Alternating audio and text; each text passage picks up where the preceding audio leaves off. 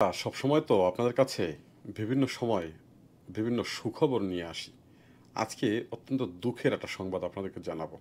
বিষয়টি হচ্ছে, গতকালকে সৌদি আরবের ক্যাপিটাল সিটি, অর্থাৎ সৌদি আরবের রিয়াদে চার বাংলাদেশিকে গ্রেপ্তার করেছে সৌদি পুলিশ। আর এই বিষয়টি সৌদি আরবের রিয়াদ পুলিশের মুখপাত্র প্রেস ব্রিফিংয়ের মাধ্যমে জানিয়েছে বিভিন্ন সংবাদ মাধ্যমকে।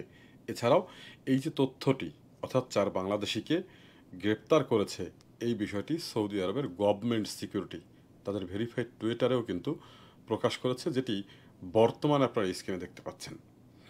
এই সংবাদে বলা হচ্ছে যে চার বাংলাদেশিকে তারা গ্রেপ্তার করেছে। তাদের অপরাধ ছিল এক, তারা অবৈধ ইকামা বানাচ্ছে। দুই, তারা অবৈধ ইন্স্যুরেন্স বানাচ্ছে।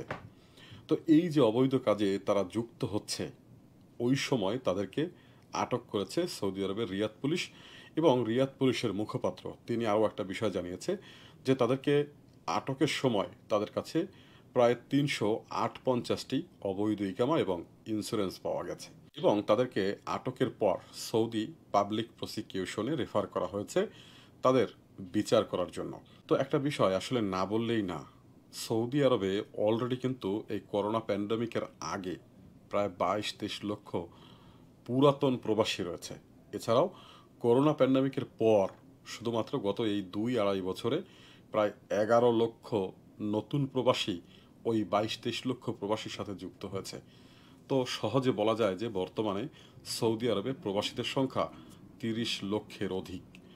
তো আমরা কিন্তু আগে যখন সৌদিতে আসতাম, সৌদিতে অন্যান্য মানুষ যখন যারা আসতো তারা কিন্তু বিভিন্ন সফলতা নিয়ে দেশে ফিরে যেত।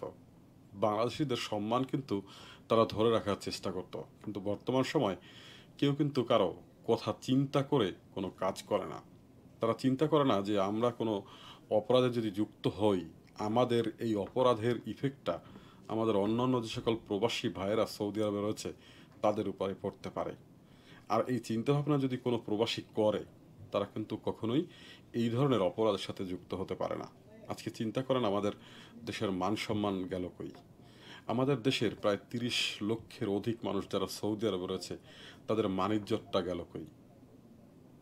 তো প্লিজ যারা আজকের এই ভিডিওটি দেখছেন তাদের কাছে অনুরোধ থাকবে যে কোনো ধরনের অকারেন্স করার আগে, অপরাধমূলক কাজের সাথে যুক্ত হওয়ার আগে অন্ততপক্ষে যারা সৌদিতে আপনি ছাড়া অন্যান্য মানুষ যারা রয়েছে তাদের কথা একটু হলেও চিন্তা করবেন যে আমি খারাপ কাজে যুক্ত হচ্ছি এর দায়ভার তো অন্যান্য প্রবাসী যারা রয়েছে তাদের উপরে পড়বে। তো যে তথ্যটি এতক্ষণ আপনাদেরকে জানাচ্ছিলাম সেটি ভিডিও স্ক্রিনে কিন্তু আপনারা বর্তমানে দেখতে পাচ্ছেন। তো আশা করছি তথ্যটি সবাই সবাইকে শেয়ার করবেন। আর ভালো থাকবেন, সুস্থ থাকবেন।